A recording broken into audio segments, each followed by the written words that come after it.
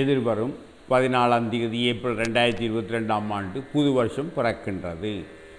இந்த புது வருஷம் பன்னெண்டு ராசிகளுக்கும் அவரவர்கள் ராசி பலன்படி பலன்கள் எப்படி ஒன்று விவரமாக பார்ப்போம். முதலாவதாக மேஷ ராசி.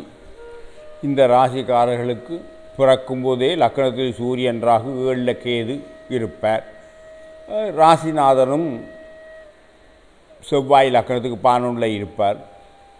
குரு பகவான் பன்னெண்டில் இருக்கிறார். இந்த மேஷ ராசிக்காரர்களுக்கு இந்த புது வருஷம் சுபகிரது வருஷம் பிறக்க போகிற ரெண்டாயிரத்தி இருபத்தி ரெண்டாம் ஆண்டு வருஷம் மத்தியமமான பலனை தரும்.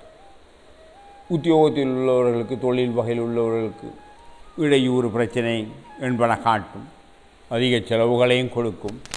சிலருக்கு உத்தியோகஸ்தான மாற்றங்களையும் கொடுக்கும். மாணவருக்கு கல்வி தடை காட்டும்.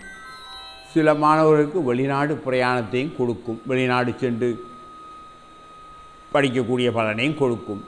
பெண்களுக்கு விவாகத்துக்கு தடை காரணம் குரு பகவான் பன்னெண்டாம் இடத்தில் சஞ்சாரம் செய்வதனாலும் ராகு தோஷம் உள்ளதனாலும் இது விவாகத்துக்கு தோஷம். விவாகங்களை நிச்சயித்து அது தடையும் ஏற்படும். ஒரு முறைக்கு இருமுறை தடை கொடுத்து பின் விவாகம் நடைபெற இடம் உண்டு. இது பெண்களுக்கு உள்ள பலன்.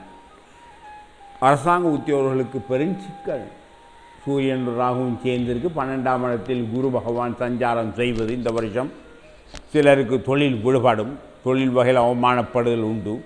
சிலருக்கு வழக்கு ஒம்பு விசாரணை என்பன காட்டும். மாணவர்களுக்கு கல்வி மத்தியமம் ஆயினும் வெளிநாடு சென்று படிக்கக்கூடிய மாணவர்களுக்கு தடையுடன் நிறைவேறும். பொதுவாக இந்த மேஷ ராசிக்காரர்களுக்கு இவ்வருடம் பெரிய நன்மைகளை எதிர்பார்க்க இயலாது மத்தியமான பலன் இக்காரியமும் தடையுடனே நடைபெறும்.